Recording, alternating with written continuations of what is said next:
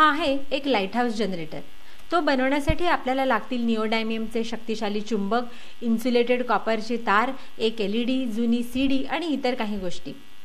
सुरुवातीला पस्तीस गेजची इन्सुलेटेड कॉपरची तार घ्या आणि फोटोफिल्मच्या डबीभोवती त्याचे एक हजार वेडे घ्या. नंतर ही कॉईल अलगद बाहेर काढा आणि तिच्या मधोमध एक पेन बसवा.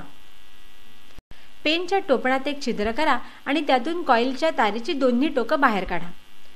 वायरच्या दोन्ही टोकांचे इन्सुलेशन खरवडून काढून टाका आणि त्यांच्यामध्ये एक एल ई डी बसवा.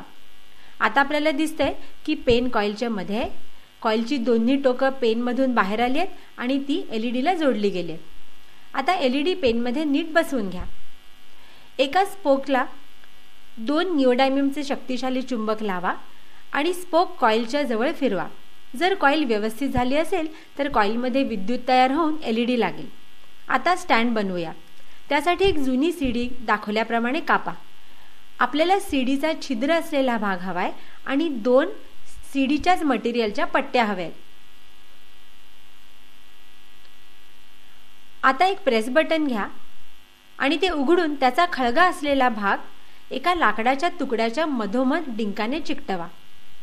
लाकडाचे चार खांब दाखवल्याप्रमाणे छिद्रांमध्ये उभे करा.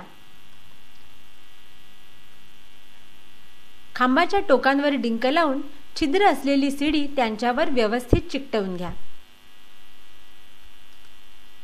आता चार निओडायमियमचे शक्तिशाली चुंबक घ्या आणि त्यातले दोन सीडीच्या पट्टीच्या दोन्ही बाजूंना लावा.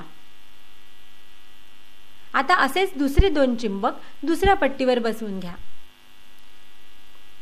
आता या चुंबक असलेल्या पट्ट्या स्टँडला खांबांच्या विरुद्ध बाजूंना लावा. आता आपला स्टँड पूर्ण झाला. आता तयार असलेलं पेन स्टँडमध्ये असं बसवा की त्याचं टोक प्रेस बटनाच्या खळग्यात व्यवस्थित बसेल आणि एल ई डी असलेलं पेनचं टोक सीडीच्या छिद्रातून बाहेर येईल. पेन स्टँडमध्ये अगदी सहज फिरायला हवं. आता जर हे पेन आपण जोरात फिरवलं तर पेनवर बसवलेला एल ई डी कसा छान लागतो ते पहा. तांब्याची तार शक्तिशाली चुंबकांच्या मध्ये फिरते आणि त्यामुळे कॉईलमध्ये ई एम एफ तयार होतो आणि ह्या विजेमुळे एल ई डी लागतो. अंधारात एल ई डी लागलेला किती मस्त दिसतो ते पहा. हे या प्रयोगाचे एक व्हेरिएशन आहे. इथे रबरचा बेस आणि पेन्सिली वापरून स्टँड बनवला आहे. पण मूळ तत्व आधीच्या जनरेटरसारखंच आहे. इथेही पेन स्टँडमध्ये फिरवल्यावर एल ई डी लागलेला आपल्याला दिसतो.